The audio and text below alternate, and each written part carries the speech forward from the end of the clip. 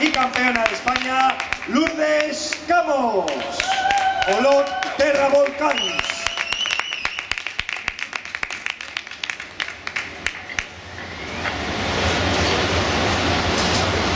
Bigarrena, segunda, María Eugenia Yarno.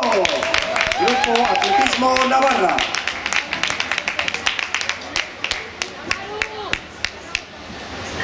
Eta Irugarren, tercera, Natalia Ro.